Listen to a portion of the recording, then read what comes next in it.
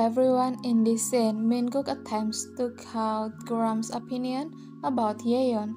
He wants to know how Garam would react if his biological mother were in return. Garam simply responds that sometimes he expects it but other times he doesn't really anticipate it. Garam is already living a happy life with Minkook and has grown fond of Anha's presence. This indicates that Garam is open to accepting a new mother figure who may not necessarily be his biological mother. When Minkook finally informs Garam that his biological mother has returned, Garam remains still. It doesn't mean that he doesn't want to meet his biological mother. He just needs time to come to terms with this new reality.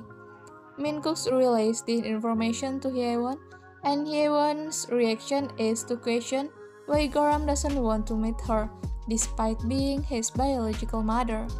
Hyewon assumes that Garam would be overjoyed to see her and would run into her arms, shedding tears of longing.